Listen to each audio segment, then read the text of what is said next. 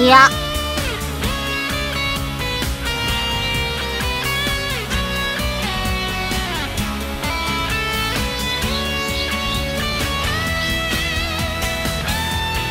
本当にあなたに楽器の演奏なんかできるの？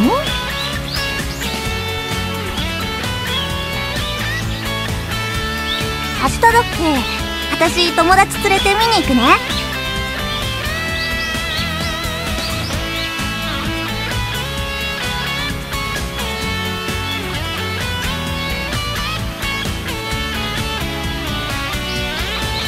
私怖くて見に行けないわ。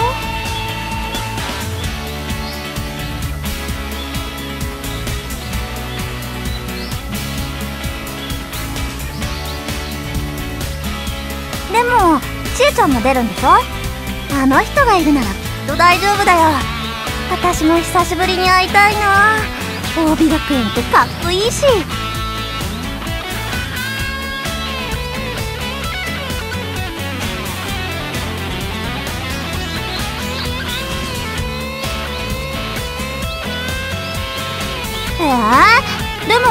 も今年は平気だよ。だって兄貴バンドやるんでしょ？かっこいいじゃん。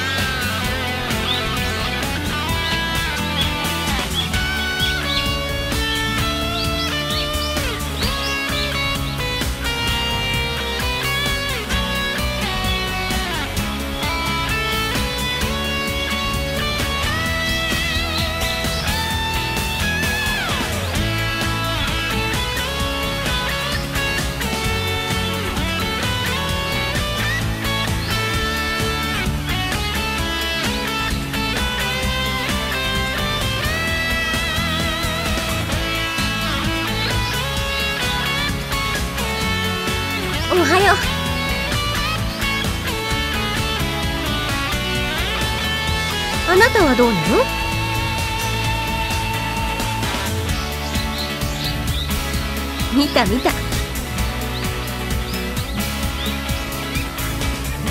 え鹿之助はもう衣装のこととか聞いてる？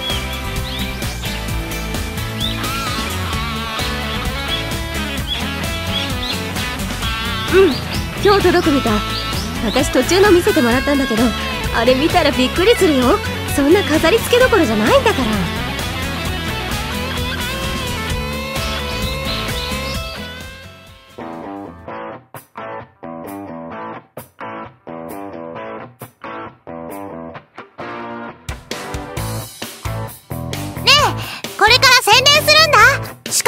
手伝ってよ。明日のステージの宣伝するの。訪問のところでねサリナちゃんがギター弾いて私が歌うの。鹿くんはビラ配って。うんさっき職員室でコピーさせてもらった。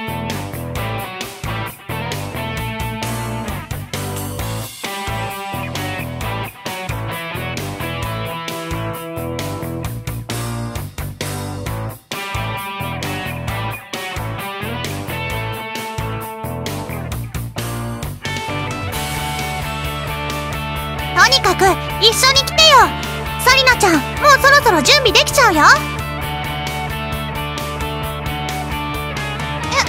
え店番？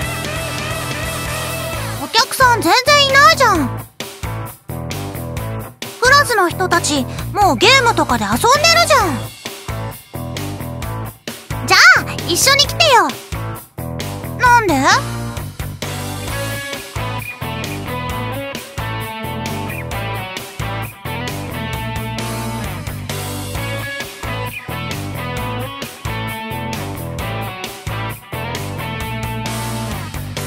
そんな人地球上にいないよ。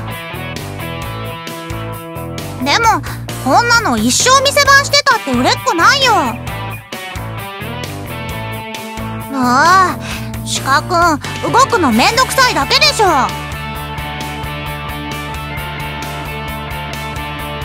大丈夫だよ。私の出番は午前だけだから。さっきまでずっとお化けの役やってた。白い着物着て三角の布つけて裏飯やって。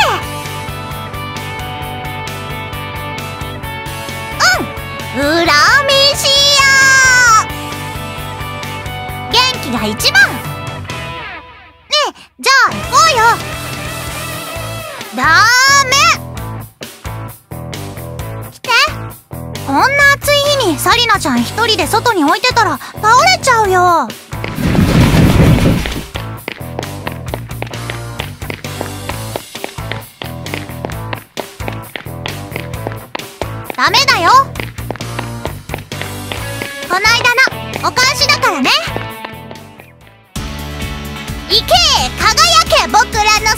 し。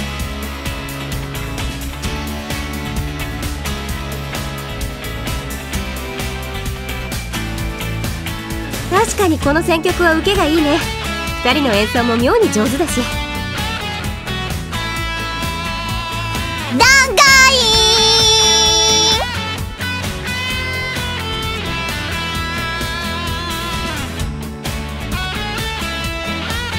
これで何人かが明日も来て見に来てくれるといいけどね。何ヶ月も頑張ったのにガラガラだった日には、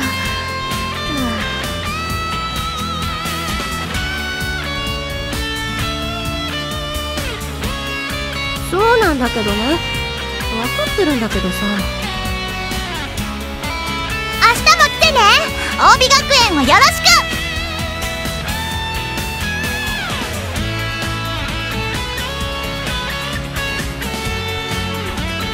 丈夫です。それより余ったビラをください。私も今から配ります。私も配る。ちょうだい。ねえキラリこれコピーしすぎだよ。絶対配り終えないよ。そうかな。なんでこんなにたくさん吸ったの？先生が紙たくさん使っていいって言ったから。でもこれじゃ全校生徒に配っても余りそうだねそうかな。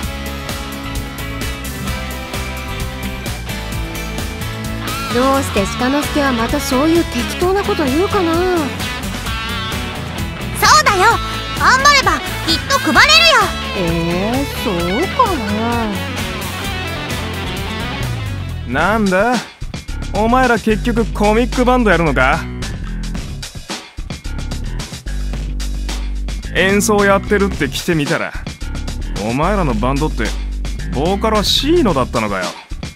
こんなチンチクリンがまともな歌を歌えるのか？うん。なんですって？なあ今からでも遅くないから辞退したらどうだ？つまらない演奏をして俺たちが出る前に客をしらけさせてもらっちゃ困るんだけどな。どうせ勝負は俺たちの勝ちに決まってるんだしさあのつまらないかどうかはやってみないとわからないと思うんです。言うねえ柏原ちゃん。俺たちはさ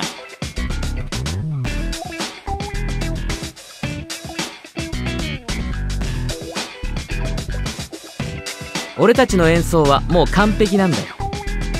お前らと違って前日にこんないじましい客寄せなんかしなくたって。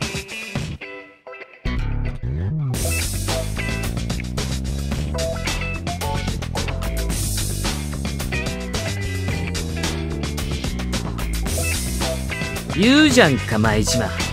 お前なんかな？ちへっ。準備でも何でもしてりゃいいさ。せいぜい明日のステージを楽しみにしてるぜ。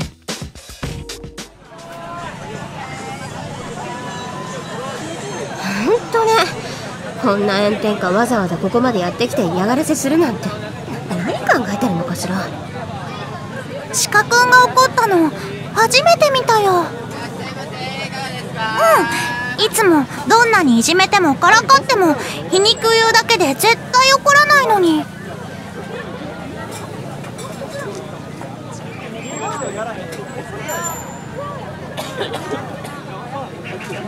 そっか。ありがとね。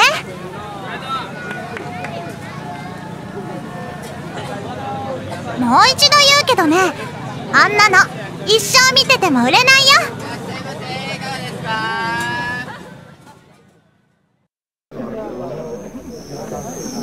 だるいっす。暑いっす。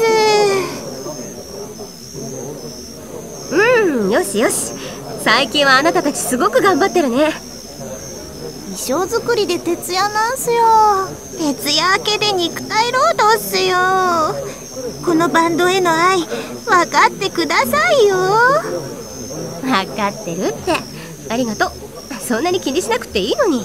なんか私たちいつもお味噌扱いだから。私たちだってやるときはやるっす。そうだね。ありがとう。っていうかなんでそんな喋り方なの？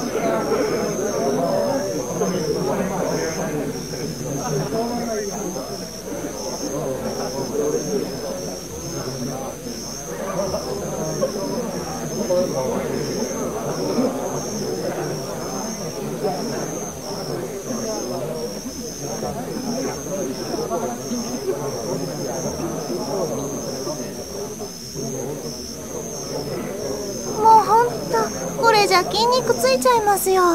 お嫁に行けなくなっちゃうっすよ。今日はもう帰っていいから。お疲れ様。うい了解です。明日また来ますので衣装で合わないとこあったらチェックしといてください。本当は今日これからチェックしたいんですけどもう体力の限界で多分大丈夫だと思うんですけど。うん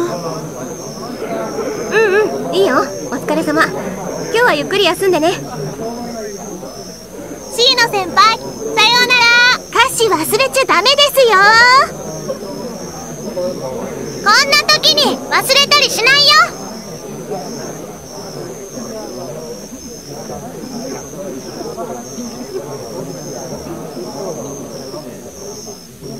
夜になっちゃったね。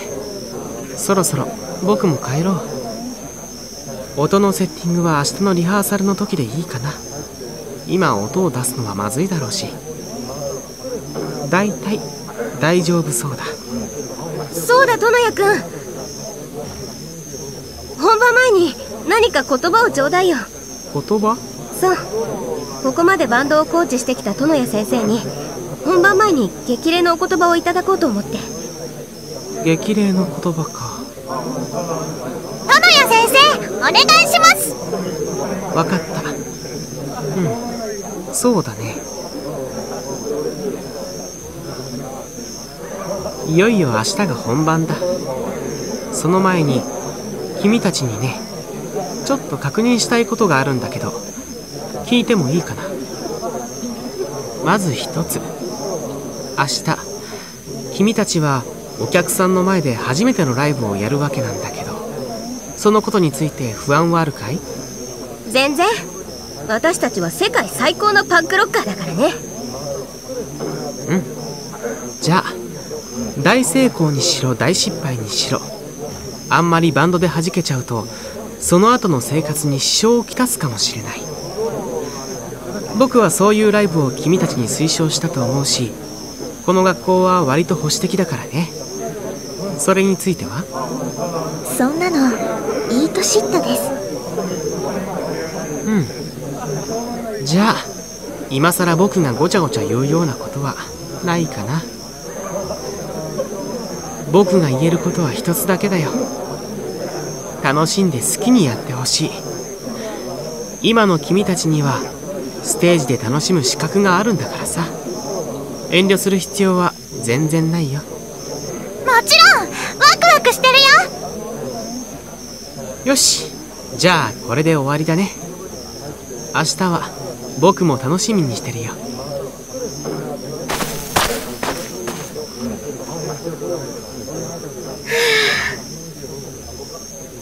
殿谷くんにああいうこと言われると授業で先生に刺されるより緊張しちゃうよでも正解が言えてよかったです。殿谷くんのためにも成功させないとね。まったくよ。部員でもないのにこんなに一生懸命やってくれて。今更だけど彼のバンドへの情熱はほんと頭が下がる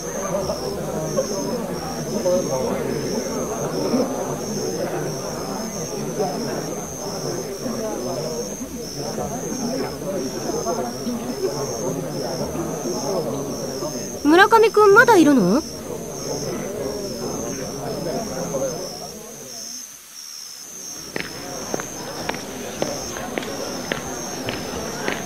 おーす。向こうの準備もできたぞ。放送部の連中と話もちゃんとつけてきた。あいつら結構乗り気だったぜ。いやいや俺も楽しみだ。バンドのメンバーには話したかそうかもな。俺はステージの袖の辺りで準備してるからステージの上からその瞬間に合図してくれればいい。演奏頑張れよ。俺の対局はお前たちの演奏が終わってからなんだ。駅付けを頼むぞ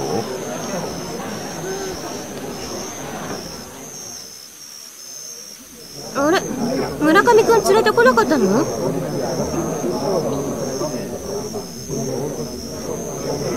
まだ前島さんの衣装合わせがありますから今日のうちにやっとかないと万が一の時の修正が間に合いません。も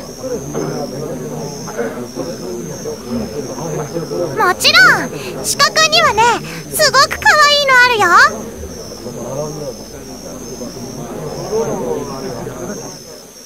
よ。よし全員サイズぴったりだね。これなら直す必要はないね。もちろん。面白いでしょ？そんなことないってきっとウケるわよ。可愛くできてるし。思ったより良かったよ。でももうだいぶ遅くなっちゃったな。そういうの大丈夫なの？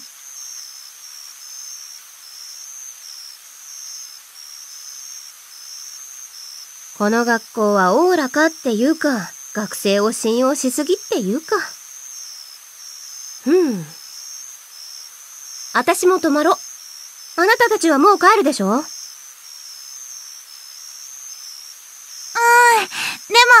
なんかまだ興奮してるっていうかこのまま帰るのは寂しいっていうか私ももしいいんだったら泊まりたいです学校に泊まったことなんかないですから。そうだよね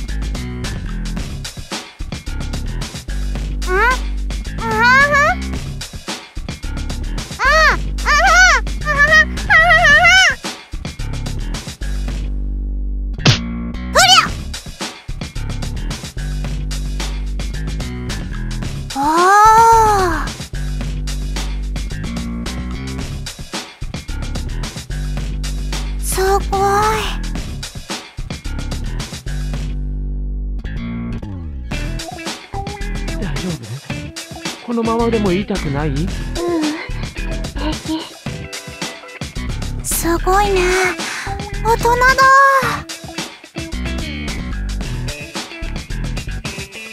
え鹿くん鹿くんもあれしたことある。鹿くんも大人だああ色っぽいな私にもあれできるのかな？いつかやってみたいな。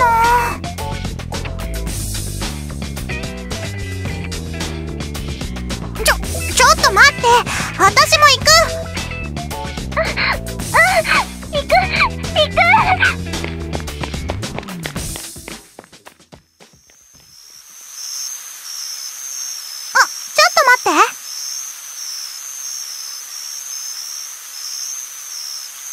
明日はここで歌うのか。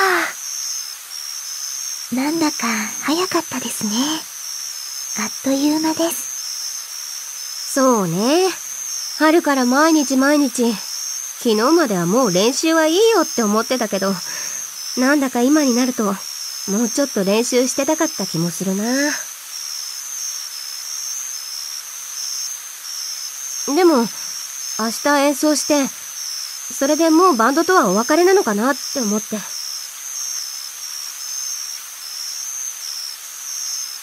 でも、また機会があったら、一緒に演奏したいですね。そうだね。機会があったら。